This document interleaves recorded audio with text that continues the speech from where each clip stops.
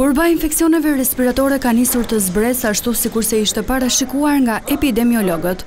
Sipas Institutit të Shëndetit Publik, gjatë javës së parë të shkurtit janë regjistruar gjashtëmbëdhjetë mijë të sëmurë. Që nga java e kaluar ka filluar një trend në rënie e numrit të infeksioneve respiratore të sipërme dhe të poshtme. Në janar piku u arrit me shtatëmbëdhjetë mijë raste infeksioni respiratore të sipërme dhe të poshtme, Ndërsa aktualisht që po flasim janë gjashtëmbëdhjetë mijë raste, pra ka filluar rënia dhe trendi parashikohet në rënie dhe në javët në vijim. Pra të gjitha grupmoshat janë të prekura nga gripi, por kryesisht grupmosha pediatrike, 0-14 vjeç dhe personat mbi 65 vjeç që kanë dhe këto sëmundjet shoqëruese. Por pavarësisht se qarkullimi i gripit ka pësuar rënie, ai po lë pas komplikacione, sidomos tek personat që vuajnë edhe nga sëmundje të tjera.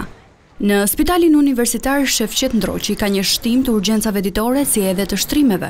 Kemi raste të pacientëve që tek ne vijnë me komplikacione të gripit mbasi ditët e para të influencës ato i kalojnë o ke mjeku i familjes o në shpi. Vijnë raste me pneumoni, të cilët referojnë që kanë qëndruar shumë ditë në shtëpitë e tyre pa u parë nga mjeku dhe pa marrë mjekim. Presim të tillë pacientë, pacientë të rëndë nga rrethet, të cilët janë të komplikuar, me pneumoni të situatës gripale të kaluar.